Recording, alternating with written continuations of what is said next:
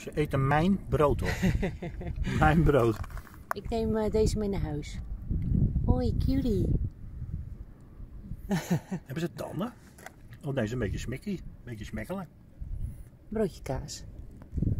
Kijk, die is nou een beetje jaloers. Zie je dat? Ja. Een Er is altijd een jaloers iemand bij natuurlijk. Weet je ook? Deze is een beetje bang. Die beesten zitten helemaal boven op deze berg.